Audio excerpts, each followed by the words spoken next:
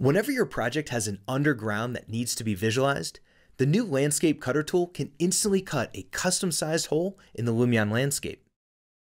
This new tool can be found in the Utilities Object Library. Just place the Landscape Cutter over the area you want to remove.